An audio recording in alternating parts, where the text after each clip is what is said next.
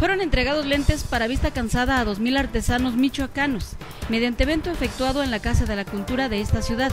Es con el fin de que estos estén en mejores condiciones visuales para elaborar las obras de arte popular. El acto de entrega fue encabezado por el presidente municipal de Uruapan, Aldo Macías Alejandres, acompañado del director de la Casa de las Artesanías de Michoacán, Rafael Paz Vega, y el diputado federal por el distrito de Jiquilpan, Salvador Romero Valencia, quien patrocinó los lentes a los artesanos que lo necesitaron. En su mensaje, el alcalde de Uruapan destacó que más sectores y personas como el diputado federal Salvador Romero se animen a apoyar a los artesanos michoacanos, quienes con su trabajo se encargan de preservar una de las expresiones más representativas de la cultura indígena como lo es la artesanía.